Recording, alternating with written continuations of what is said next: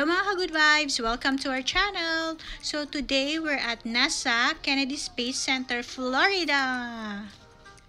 So we went here three months before the pandemic. So these are the stuff we can be doing today.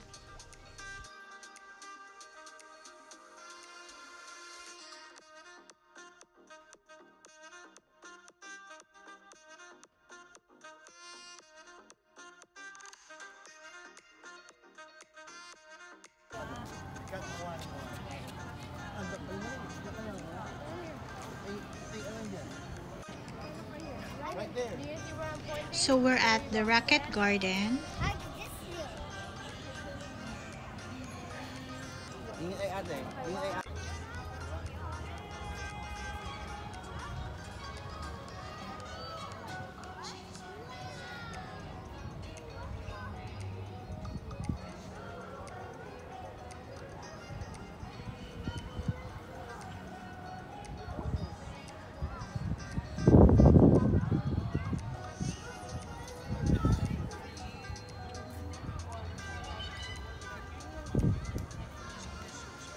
So this is that.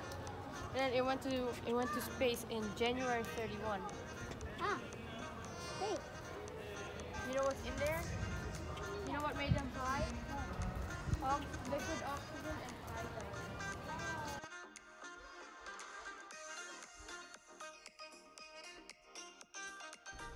This is Saturn B1 rocket.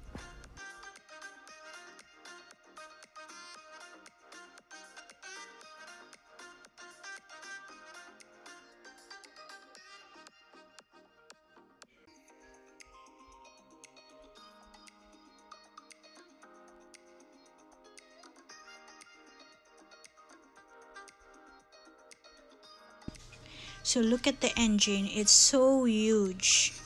So here's the better view of the SA-209 or the Saturn B1. This is a Saturn V F1 engine. This is the control room for the launching of the Apollo 8. launch of Apollo 8. Right here, where it actually happened.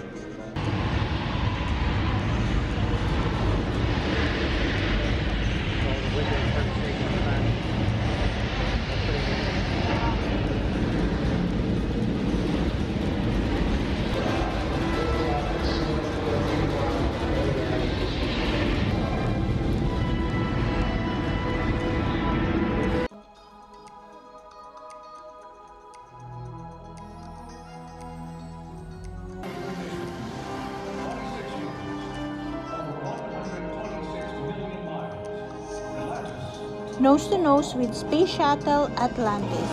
In front of you is the Atlantis NASA's fourth space flown shuttle, just as she appeared when she landed on her last mission, STS 135. Atlantis was in service for 28 years and flew 33 missions. Every time she launched as a rocket, flew as a spacecraft, and landed as a glider. That can leave a space shuttle a little worn looking, but every smudge, every mark, and every stain tells a story. So this is the Space Shuttle Atlantis external tank that holds fuel for the main engines and the two solid rocket booster which provide most of the shuttle's lift during the first two minutes of the flight. The space shuttle consists of three major components, the orbiter which houses the crew, a large external tank, and the two solid rocket booster.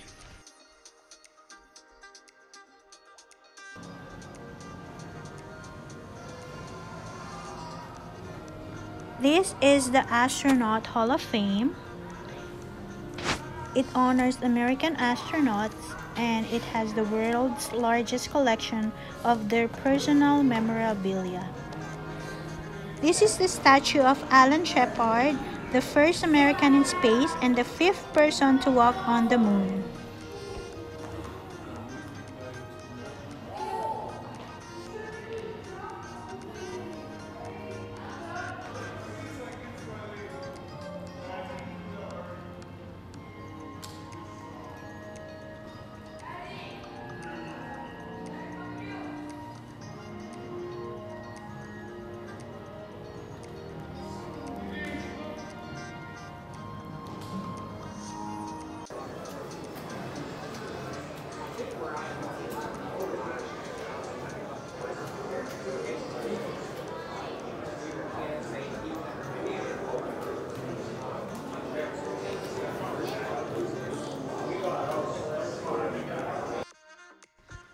I don't know if this is the exact one, but they say that they had a moon rovers here that was made from spare parts of other moon rovers because we've never brought back one from the moon.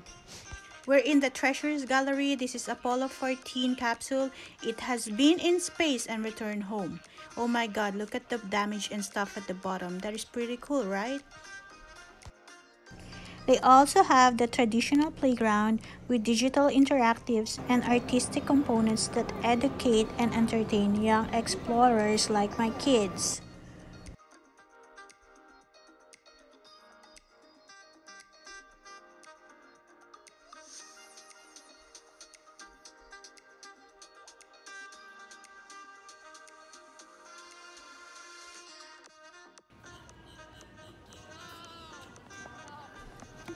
So this is their food court and they have a store here where you can shop for souvenirs.